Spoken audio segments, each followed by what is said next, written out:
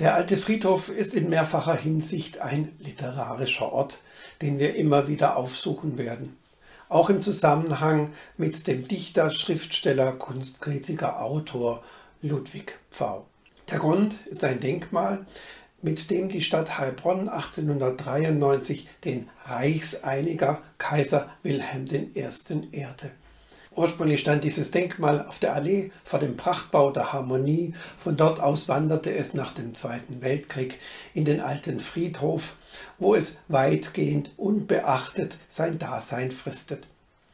Ludwig V. nahm starken Einfluss auf den Entwurf dieses Denkmals, auf sein Bildprogramm. Vielleicht weicht es gerade deshalb vom Muster anderer Kaiserdenkmäler ab, die Wilhelm I., wie etwa in Stuttgart, als siegreichen Krieger zeigen, gerne zu Pferd. V gab der Debatte in Heilbronn die entscheidende Wende hin zu einem Denkmal, das mit der Siegesgöttin an der Spitze zwar an den Krieg gegen Frankreich erinnerte, im zentralen Medaillon aber keinen Kaiserkrieger zeigt, sondern einen weisen Herrscher, in der Tradition römischer Kaiserbildnisse. Die Figur der Germanier unterhalb umfasst schützend zwei Knaben, die die Reichsteile Nord- und Süddeutschlands symbolisieren. Beim Dreh im alten Friedhof fand sich die Germania mit einer Bierflasche bekrönt, die immerhin auf die Brauerei des Pfau-Zeitgenossen August Kluss hindeutete. Aber wie kam der Preußenverächter Ludwig Pfau überhaupt dazu, den Preußenkaiser zu ehren? Nach dem Scheitern der Revolution 1849 hatte Pfau sein wohl bekanntestes Gedicht geschrieben, gleichzeitig eine Abrechnung mit dem Preußentum, badisches Wiegenlied. Schlaf, mein Kind, schlaf leis, da draußen geht der Preuß. Deinen Vater hat er umgebracht, deine Mutter hat er arm gemacht, und wer nicht schläft in guter Ruhe, dem drückt der Preuß die Augen zu. Pfau hat sich vielfach mit dem Preußentum angelegt, etwa 1877, als er in einem Strafprozess in Frankfurt zu seiner Verteidigung ausführte. Das heutige Deutschland ist mit einem Worte nichts als ein vergrößertes Preußen. Und das Preußentum klage ich an, weil es in das Heiligtum unseres Stammeslebens dringt und seine unschönen Götzenbilder an die Stelle unserer wohlgeformten Hausgötter setzt. In dieser Rede geißelte er auch den alle Lebenskräfte aufzehrenden Militarismus. Eine solche Politik kann nur wie ein Alp auf der ganzen zivilisierten Welt liegen und muss schließlich zum Krieg aller gegen alle führen. Noch neun Tage nach dem Tod Kaiser Wilhelms I. am 9. März 1888 schrieb Pfau an Anna Spier.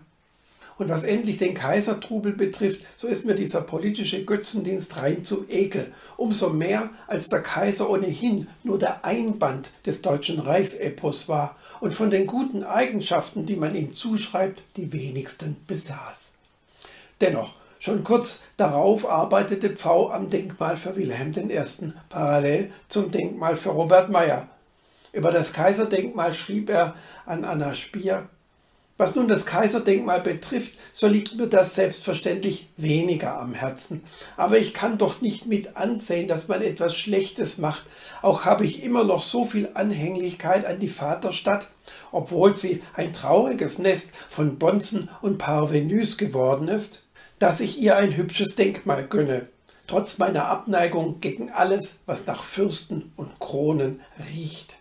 V zeigt bei seinem Eintreten für die beiden Denkmäler, wie souverän er die modernen Medien kennt und sie zur Propagierung einsetzt.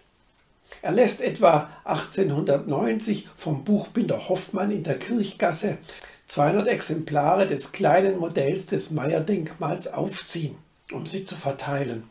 Er stellte einen Holzschnitt mit dem Meyer-Denkmal her, der dann samt Artikel in der sehr populären Zeitschrift Die Gartenlaube erschien. Auf diese Weise gelang es, den konkurrierenden Entwurf des Bildhauers Otto Ried aus dem Feld zu schlagen. Das Riedsche Modell ist scheusalig, schrieb V. Auf das Kaiserdenkmal nahm er direkten Einfluss im Atelier des Bildhauers Wilhelm von Römern in München. Er hatte sich von dem Viktoria schreienden Chauvinismus noch nicht losmachen können und der Germania ein großes Schwert aber in der Scheide, wie er sagte, in die Hand gegeben. Ich fragte ihn aber, ob er je gesehen habe, dass eine Mutter, die ihre Kinder versöhnen wolle, zu diesem Geschäft einen Säbel mitführe. Nachdem Ludwig V 1894 gestorben war, erschien in der Frankfurter Zeitung sechs Jahre später, im Jahr 1900, ein Spendenaufruf für ein Ludwig Pfau-Denkmal in Heilbronn. Die Freunde Pfaus rüsten sich um in seiner Vaterstadt Heilbronn ein Denkmal zu errichten, das einen Mann ehren soll, dessen Wirken und Schaffen dem deutschen Geistesleben zu dauernder Ehre gereicht. Allein ein solches ist nie errichtet worden. Der Denkmalfreund Pfau blieb selbst ohne ein solches. Als letztes Zeichen blieb nur seine Urne an der Südseite der Leichenhalle auf dem Heilbronner Hauptfriedhof.